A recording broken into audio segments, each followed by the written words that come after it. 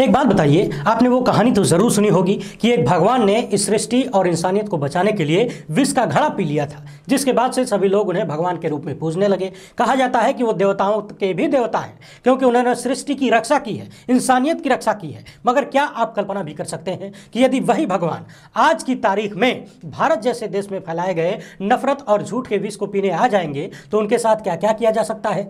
भगवान का तो नहीं पता, लेकिन जो इंसान हमारे समाज के और हमारे देश की राजनीति और उसके झूठ के जहर को पीने की कोशिश कर रहा है और सिर्फ़ कोशिश नहीं कर रहा, बल्कि पिछले कई सालों से पी भी रहा है। उस मोहम्मद जुबैर के साथ क्या क्या हो रहा है यह हम सभी को देखने और समझने की ज़रूरत है और उस पर चिंता करने की ज़रूरत है, चिंतन करने की ज़रूरत है। मोहम्मद जुबैर ने गोदी मीडिया और विभिन्न पार्टियों के आईटी सेल के झूठों को पिछले कई सालों से लगातार बेनकाब किया है और भारत देश और उनकी जनता को बचाने की कोशिश की है। मोहम्मद जुबैर ने हाल ही में एक बड़े झूठ का पर्दाफाश किया, जिसके बाद से उन पर ताबड़तोड़ हमले शुरू हो गए हैं। उन्हें भयंकर तरीके से प्रताड़ित करने की कोशिश की जा रही है। तरह तरह से अलग अलग तरीकों से जान से मारने तक की धमकी दी जा रही है। इस मामले पर हम विस्तार से बात करेंगे। अभी बता देता हूँ, वीडियो को पूरा देखिएगा, अंत तक देखिएगा। राजस्थान से चौंकाने वाली खबर आई है, जिसमें अश्लील तस्वीरें भेजकर जज साहब को धमकाया गया है और ब्लैकमेल किया गया है कि 20 लाख रुपया अगर नहीं दिए तो तस्वीर वायरल कर देंगे। यदि आप भी सोशल मीडिया पर एक्टिव रहते हैं, घर के सदस्यों, महिलाओं, पुरुषों की तस्वीरों को अपलोड करते हैं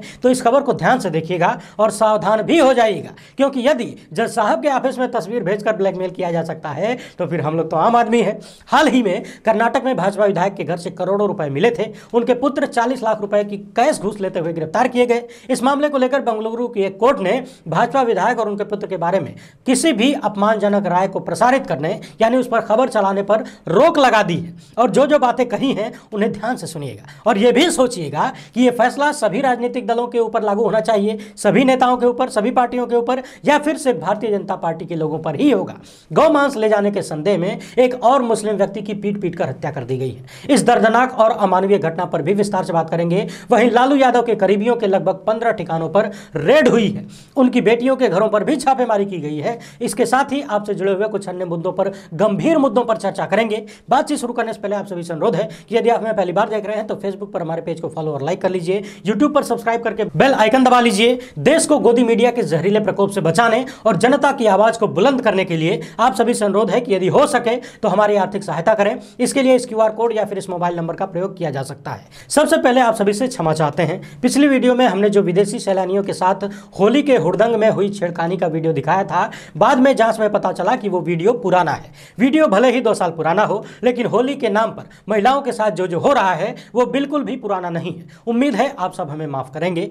वही धर्म की नगरी कही जाने वाली काशी, यानी वाराणसी में होली के अवसर पर दो दिन में, महज दो दिन में तीन करोड़ की शराब बिकी है। अब जरा रामराज्य वाले यूपी की कहानी सुन लीजिए। आगरा में पंद्रह साल की लड़की अपने घर से 500 मीटर दूर अपनी मौसी के घर होली खेलने निकली थी। शाम तक वापस नहीं आई तो घर वालों ने फ़ोन कर पूछा तो पता चला कि लड़की अपने मौसी के घर पहुँची ही नहीं? शुक्रवार की सुबह सड़क किनारे लड़की गंभीर रूप से घायल अवस्था में मिली है। लड़की के भाई ने बताया कि दरिंदों ने जंगल में ले जाकर उसके साथ गैंगरेप किया। जंगल में उसे बिना कपड़ों के घसीटा, लड़की के पीठ की चमड़ी छिल गई है, सिर भी छिल गया है। बदन पर कई जगह काटे जाने का निशान है। आँखों से खून बह रहा था। शरीर में कई जगह कांटे फंसे हुए हैं। दरिंदों ने चेहरे को बुरी तरह से नोचा है और इसके साथ ही दोनों हाथ और दोनों पैरों को तोड़ दिया गया है। गला दबाकर उसे मारने की कोशिश की गई है और मरा हुआ समझकर दरिंदों ने उसे जंगल में छोड़ दिया। पूरी रात वो लड़की जंगल में तड़पती रही। सुबह सुबह किसी तरह से घसीटती हुई सड़क के किनारे वो पहुँची, जहाँ दूध वाले ने उसे देखा और घर वालों को इतला किया। आखिर क्या हो गया है उत्तर प्रदेश को?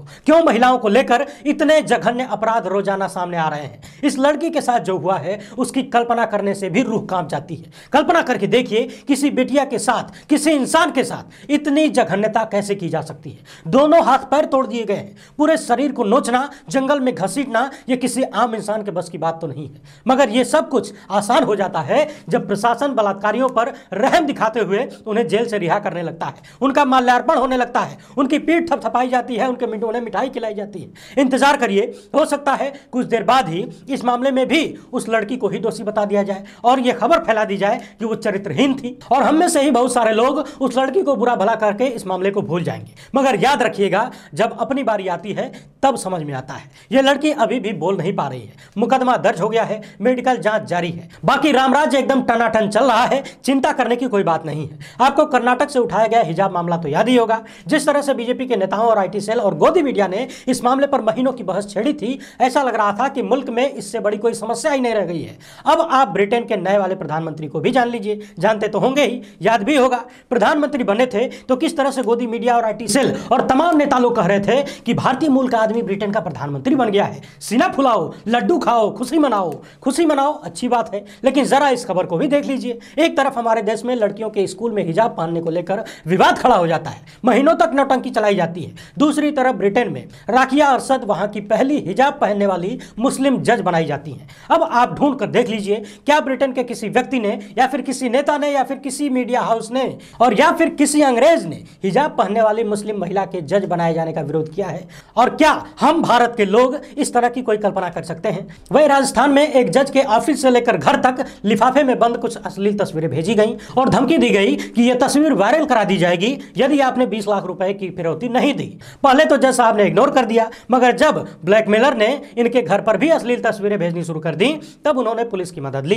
पुलिस ने बताया कि ब्लैकमेल करने वाले ने सोशल मीडिया प्लेटफॉर्म से इनकी तस्वीरें चुराई उनमें छेड़छाड़ की, उन्हें अश्लील बनाकर जज साहब को ब्लैकमेल करना शुरू कर दिया। पुलिस अब इस मामले की जाँच कर रही है। आप में से बहुत सारे लोग सोशल मीडिया पर अक्सर तस्वीरें अपलोड करते रहते होंगे। महिला पुरुष सभी लोग करते होंगे। तो कृपया ऐसा करने से पहले एक बार दिमाग की घंटी बजाइए, क्योंकि जिन चीज़ों को हम बहुत ही हल्के में ले लेते हैं कभी कभी वो चीज़ें बहुत ही भारी पड़ सकती हैं। बिहार के छपरा ज़िले में गौमांस ले जाने के संदेह में मंगलवार को भीड़ ने एक मुस्लिम व्यक्ति की बेरहमी से पिटाई की।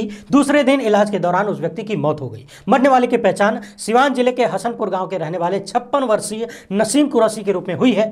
परिवार वालों का यह आरोप है कि पुलिस आरोपियों को बचाने की कोशिश कर रही है। गौमांस और गौरक्षा के नाम पर आए दिन इतनी हत्याएँ हो रही हैं कि अब यह खबर आम हो चुकी है। हाल ही में राजस्थान के नासिर और जुनेद को ज़िंदा जलाए जाने का मामला सामने आया था। अभी तक उनके आरोपियों की गिरफ्तारी नहीं हो सकी। ये देश किस ओर चल पड़ा है, कुछ समझ नहीं आ रहा है। न तो प्रशासन को और न ही सत्ता में बैठे लोगों को कोई फ़र्क पड़ता है। यदि नासिर और जुनैद के हत्यारों को तुरंत गिरफ़्तार करके कार्रवाई की गई होती तो शायद ये वाली घटना ना होती। और उससे भी पहले की घटनाओं में यदि कार्रवाई हुई होती तो शायद नासिर और जुनैद आज भी ज़िंदा होते। बिहार की इस घटना में भी आरोपियों को बचाए जाने का आरोप परिवार वाले पुलिस पर लगा रहे हैं। देखते जाइए, यह सिलसिला और कितने लोगों की जान लेता है। इस तरह की घटनाएँ इतनी ज़्यादा होने लगी हैं कि कभी कभी लगता है कि कहीं ये पुरानी वाली खबर तो नहीं पढ़ रहा हूँ।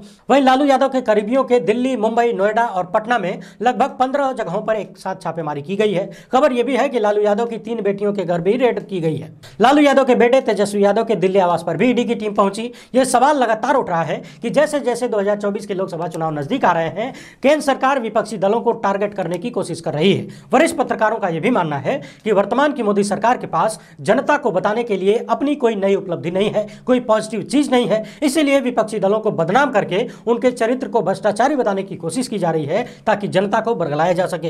अब इस पर भारतीय जनता पार्टी के नेताओं का जवाब क्या हो सकता है? आप जानते ही हैं। उनका कहना है कि जाँच एजेंसियाँ स्वतंत्र रूप से अपना काम कर रही हैं, स्वतंत्र रूप से। वैसे जानकारों का मानना यह भी है कि 2024 के चुनाव से पहले अखिलेश यादव से लेकर लालू यादव के सीआर और महाराष्ट्र के कई सारे नेताओं को टारगेट किए जाने का पूरा प्लान सेट हो चुका है। वहीं लोग ये भी सवाल कर रहे हैं कि यदि लालू यादव के परिवार ने नौकरी के बदले ज़मीन ली है तो ये मामला इतने सालों से क्यों चल रहा है? क्या जाँच एजेंसियों को कोई सबूत नहीं मिल रहा है? या फिर सिर्फ़ जाँच के नाम पर लोगों को बरगलाने और लोगों के दिमाग में एक अलग तरीके की विचारधारा सेट करने की कोशिश की जा रही है। कर्नाटक में हाल ही में भाजपा विधायक के बेटे को 40 लाख रुपए घूस लेते हुए पकड़ा गया था। खबर तो आपने देखी थी। वही विधायक के घर पर छापेमारी में छह करोड़ रुपए कैश मिले और ऑफ़िस में दो करोड़ मिले थे, यानी कि लगभग आठ करोड़ रुपए की बरामदगी हुई थी। बेटा गिरफ़्तार हुआ, विधायक जी फरार हुए।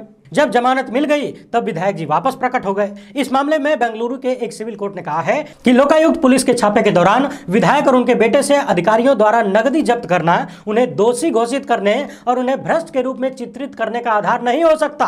कोर्ट ने यह भी कहा है कि आरोपियों को अपने मामले का बचाव करने का अवसर दिया जाना चाहिए, अन्यथा ये उनके चरित्र हत्या जैसा होगा।